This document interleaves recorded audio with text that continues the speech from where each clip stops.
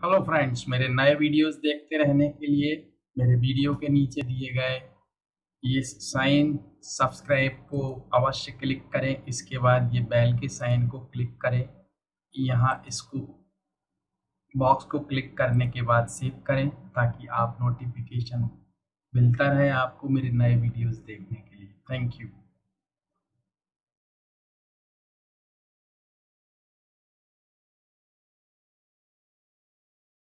Hello my dear students and friends, welcome back. I am here again with a new video for you.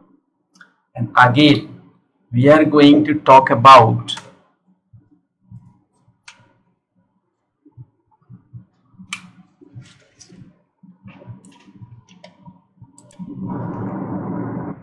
तो यहाँ पे फिर से कुछ सेंटेंसेस है ऐसे then uh, we are going to learn how to translate them into English. कि कैसे करें? तो कुछ थोड़ा अलग टाइप के हैं।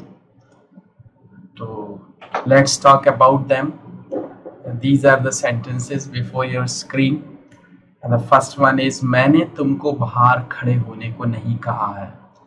तो you must understand when we someone to do something किसी काम को करने के लिए जब हम किसी को कहते हैं तो हम उसमें आस्क का ही यूज़ करते हैं, ठीक है?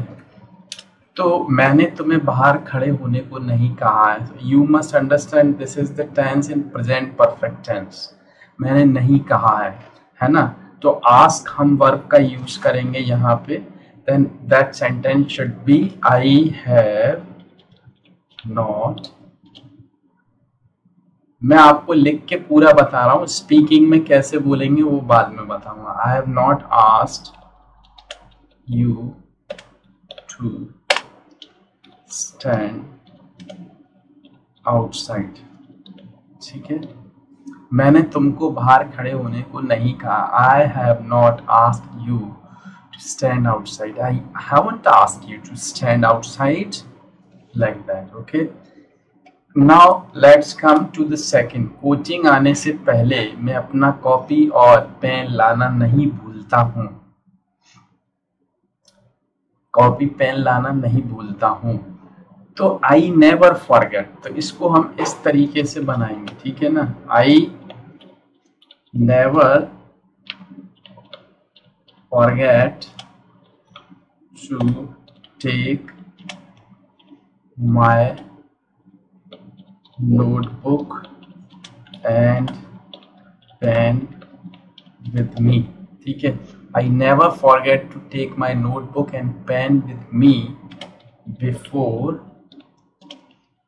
I leave to coaching ठीक है? तो ये सेंटेंस बन गया। और before I come to coaching भी कह सकते हो आप, ठीक है? अच्छा मैं क्लास में सर की बात ध्यान से सुनता हूँ तो कोई बात ध्यान से सुनना होता है listen and it is always followed by to तो इसको हम कैसे बनाएँगे? मैं क्लास में सर की बात ध्यान से सुनता हूँ I always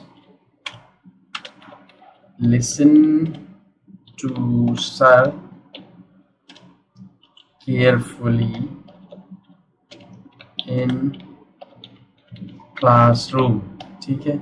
इसको हम इस तरीके से I always listen to sir carefully in classroom या इसको हम लिसन टू केयरफुली ना लिख के तो पे अटेंशन भी कह सकते हैं। I always pay attention to my sir ऐसे भी आप बोल सकते I always pay attention to my sir फिर केयरफुली नहीं बोलेंगे। Listen to carefully pay attention एक ही बात है, ठीक है?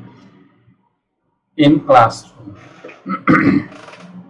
नेक्स्ट सर ने हमें कई बार क्लास में ध्यान देने को कहा है तो फिर वही आ गया, कोई काम करने के लिए कहना। Again it is in present perfect तो सर ने हमें, है ना? तो सर मीन सर और my teacher you can use my teacher has asked us to pay attention. Class में ध्यान देना है। My teacher has ask us to pay pay attention to him वही बात है क्लास में ध्यान देना मतलब उनको ध्यान से सुनना। My teacher has ask us to pay attention to him in classroom ठीक है?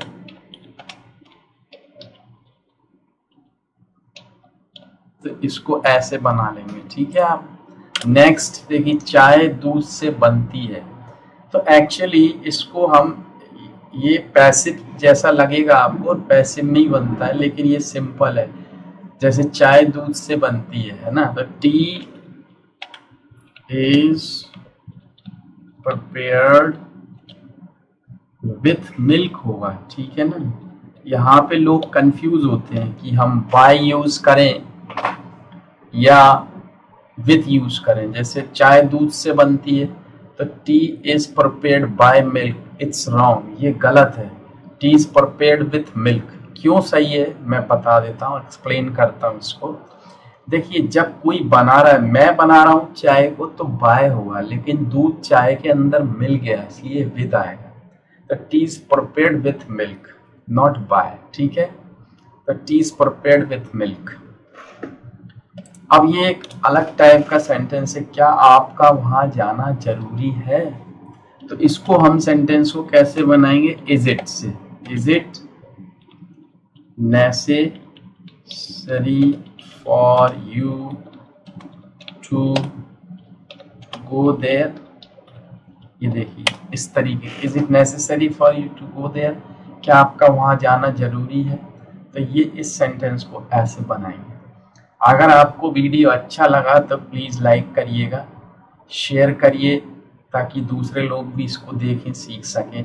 And you should subscribe to my channel to watch my new videos which I upload almost every day और अगर आप मेरे से पढ़ना चाहते हैं, जल्दी सीखना चाहते हैं English you may I have already given I have already given my email ID and Skype ID here in that video and below that video. Thanks for watching that video. Thank you.